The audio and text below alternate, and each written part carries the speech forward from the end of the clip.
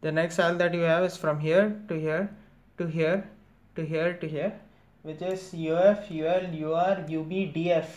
The cell is a two chain MUL, U2, M prime, U2, M prime, U, M prime, U2, M, U, M2.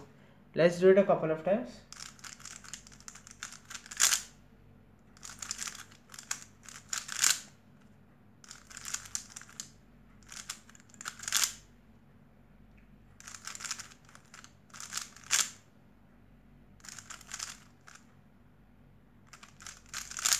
Yep, this is AB, ACBD.